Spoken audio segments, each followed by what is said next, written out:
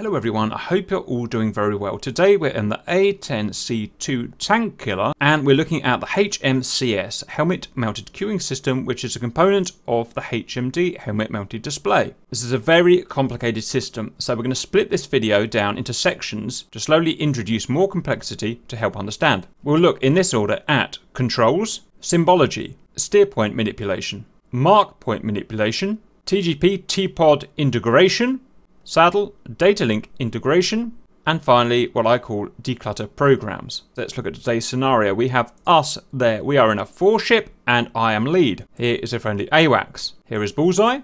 Here are two friendly other flights. Here are six Abrams tanks that have EPLRS, EPLAS. And here are five platoons of hostile armor, four static and one moving controls. Some are existing to the legacy Warthog, some are new for the HMD. First, are axes, shown as HOTAS, slow, horizontal and vertical. With the HMD, these will work our HDC. Next, TMS, target management switch, forward, short to hook an element, forward, long to move a SPI sensor point of interest to that element, right, short to create new mark point, right, long to move SPI to last created mark point, aft short to drop a hook, left short to acknowledge a new message or task, left long to broadcast a SPI, DMS data management switch, at least in relation to helmet mounted display, forwards and aft to turn brightness up and down,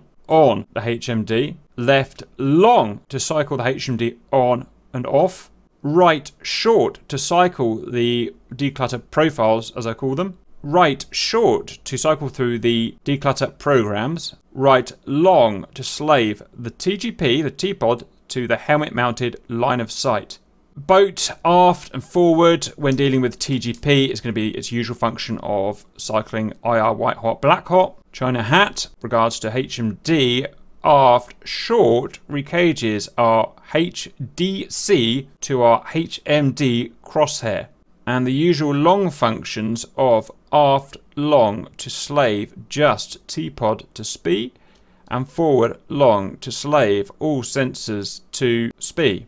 Coolie, slightly different with the HMD, so up has the usual function of moving SOI, center of interest, from one of the MFDs up to the HUD. And if HUD is already SOI, it will move SOI to the HMD. Left long to make left MFD SOI, right long to make right MFD SOI. In cockpit, first thing we need to turn it on or ensure it is turned on. Currently it's turned off. We're going to right click to turn it on. So in standard configuration, if we turn our head away from the HUD, basic symbology first, this is our HMD crosshair.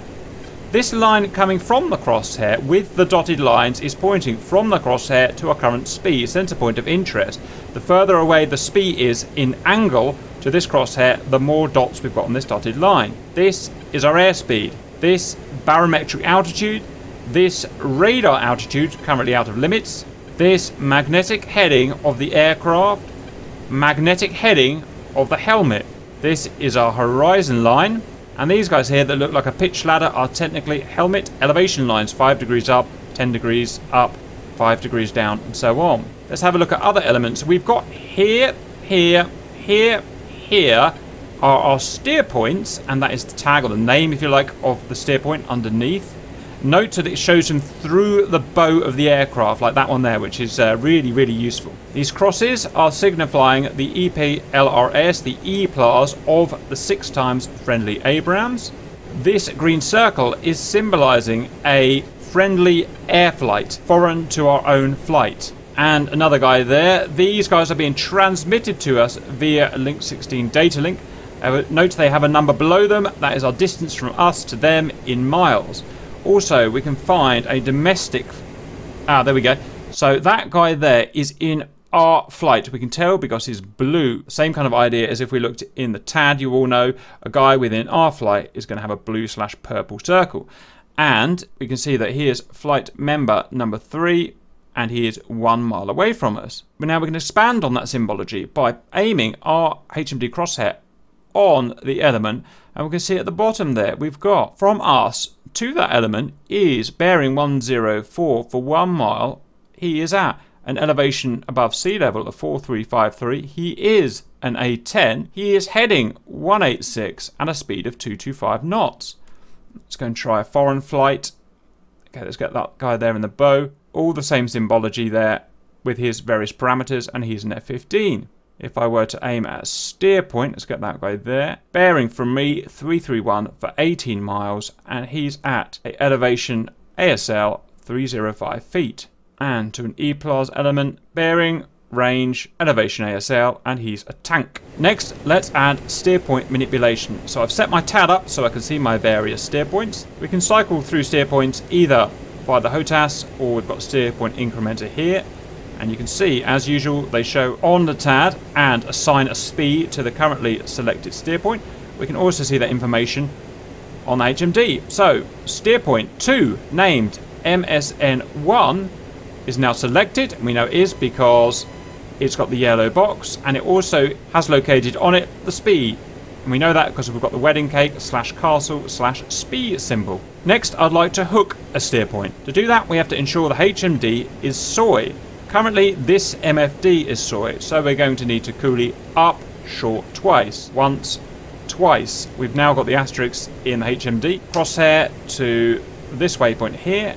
TMS up short, and we've now hooked that guy. So we've now got that guy as a hooked waypoint, that guy as SPI, and you can see we've now got twin pointers, green to the SPI, yellow to the hooked waypoint.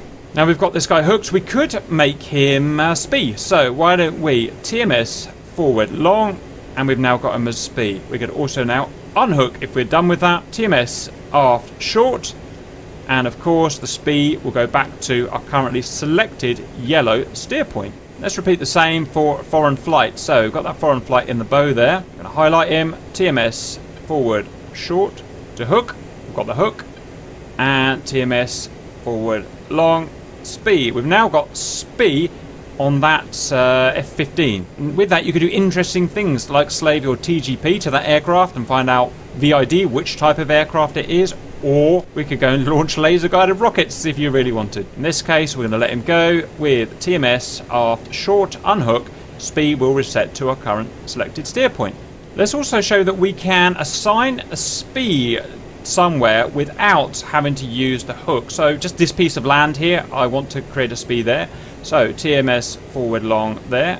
I've created my SPI and I can go and task on that SPI or in this case I want to slew the SPI back to our selected steer point which would be TMS R long. Interestingly what that's left behind is our HDC which we'll go through in a second but so you know we can page our HDC back to our crosshair if we want with China hat aft short.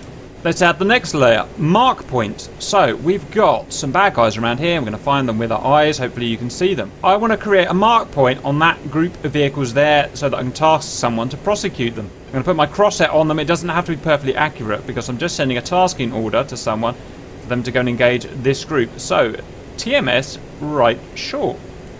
Mark point A created. Of course, I can then hook and unhook in the usual fashion. The next group is over here. I'm going to create this in a different way. I'm going to use my HOTAS slew to send my HDC over to that. Now, because I'm paused, these are both doing the same action. In reality, when you're flying, this guy here is not ground stabilized. This guy here is ground stabilized. So almost always, you're actually going to use the HDC for this action. I'm going to create a mark point there with TMS right short and mark B is created. Let's create another. Uh, yep, guy over here. Let's uh, slew our HDC over to this guy here. And create another. And of course, we can only see, as it stands, the latest created mark. So we're going to change that just for this example. Over to our CDU and mark. We can now see all three created mark points. By default, Mark A is selected, we can see because it's yellow, and the SPI is also moved to that mark point A because we've got wedding cake. Let's recage our HDC.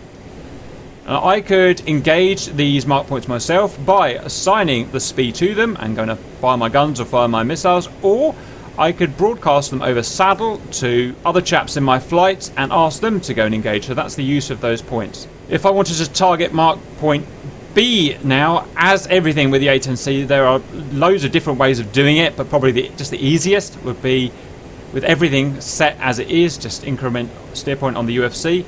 We've now got selected mark point B, and our SPI is assigned there, and we can go and shoot our guns or whatever. Next, let's integrate the TGP. First, let's just use it in, if you like, an old-fashioned way. So let's say I want my TGP to look at Mark C. One of the ways I can do it is steer point up again and I've got Mark C selected and my SPI there. Now I'm going to fire up the old TGP, so uh, air to ground, and we're going to make it SOI, coolie right long. As standard, it's going to be essentially ball sighted, so you can see the diamond there. Next, we're going to slew the TGP to SPI or Mark Point C with this guy here as SOI with China hat aft long. And you can see there, we are now pointing the T-pod at Mark C as designated through the HMD. Note that the current limits of the T-pod view is shown by that dotted box there and with the TGP as SOI I can use DMS up and down as you all know to change the zoom level and that shows what I can see in the TGP, which is pretty cool. But that is really annoying to have to look there and then go and look there at the T-pod. So why don't we bring this image from the right MFD onto the HMD? First, we need to make the HMD SOI. So, coolie up short once, twice. We've now got the asterisk here. It's SOI. And DMS left short. Ping. We've now got our footage of our T-pod shown here, which you've got to admit is pretty friggin' awesome. Note at this point we can change the intensity of the HMD image once it saw it with DMS up and down, so bright or dark. I'm going to put it up to bright. I should also show at this point that I can remove all of the image completely from the HMD when it saw it with DMS left long and again to bring it back. Next, in the role play, I understand that there is a moving convoy somewhere on this road. So the first thing I'm going to do naturally is just to look with my eyes, and I cannot see for the life of me a convoy. It's probably occluded by you know, some of this uh, infrastructure of the aircraft. So there are various ways that we can point the T-pod onto that road to have a look, but what I'm going to do now is send SOI to the TGP with coolie right long. And now I'm going to use my HOTAS slew to move my dotted box and by virtue of that what the T-pod is looking at and because we're looking for a convoy it's going to be easier in IR so we're going to use boat forwards and backwards until we're happy. We've got the contrast that we want. Probably white hot's going to be best. And now it should be a little... Ah, you can see they stand out now. And I can zoom in with DMS. As you can see, got that guy there. And I'm going to... I think they're moving, so I'm going to create a point track on that guy with TMS forward short. I've now got a point track on that guy. And that's how from the view of my HMD with all the situational awareness that my HMD gives, I can work my T-pod to find a guy and employ my Mavericks or whatever I want to shoot at that guy. And if we were going to do that, we'd probably want this guy as SPI as well. It's going to help us guide us to that target. And uh, so we would then, of course, do TMS forward long, and we've got now SPI on that moving target. Next, we're going to look at SADL integration as data link within flight members. We're now in a live multiplayer server. RC is in a, another A10C2 within a foreign flight, so it's not in my flight or my group. So the first thing I'm going to do is ensure that we're in the same group so that we can send SADL data link information to each other. I'll see. I'm while I'm on TAD and it's SOI. I'm going to click net. Can you tell me what your group ID is, please? Group ID is 11. And your own ID? I'm going to change it to 02. You'll go 02. I'll come in 01 and I'm coming to 11. So UFC 11 group. And let's check. I can now see, you can now see the blue guy there. That is RC in my flight and I can see him. There he is. That is flight member 2 at 12 miles away from me next thing you're going to do is you're going to find a target and then you're going to broadcast first of all that SPI publicly and I'm going to pick that up. Next thing I'm going to do is make sure my helmet mount display is on. It is. I'm going to set it as SOI, which now is. Now we're waiting for a broadcast from RC. Broadcast SPI is left on. Okay, right, so broadcasting SPI, just a quick check in for here, situational awareness. I can see it's on my right roughly. I'm going to look Right, and there she is, the two tier or one tier, however you want to say that. There is a foreign SPI, so I'm going to put my cross over it and I'm gonna TMS up forward short to hook it and TMS long to create a SPI. That's now the full wedding cake. That's a SPI there, and I can go and, attack it. I'm going to unhook that. Now, if you could broad broadcast privately, just to me, a target, please, RC. Okay, new task has come through. Thank you for that. I'm going to TMS left short to acknowledge. Done. Now I'm going to look. Uh, where is it? There it is. If you can see that red triangle there, that is my tasking. So again, hover over it. TMS forward short to hook. TMS forward long. We've got a SPI created. Go in and drop the bombs on it. That is the helmet mounted display with SADL. And finally, let's have a look at the programs we have for customizing or decluttering our HMD display. So make the HMD SOI, press DMS right short to cycle through program 2, program 3, program 1, and they have different levels of what is excluded from the display, and we can of course customize that. We're going to go to our stat page and HMCS. We've got here programs 1, 2 and 3. Under those three programs we have all of the elements that we have possible to see within the HMD, two pages worth in fact. And for each element we can choose it or select it with arrows up and down, that's just to crosshair. Currently it's set to occluded. It could also be off or on. Occluded means that when you move the helmet mounted display into the HUD, that element will disappear. Like that.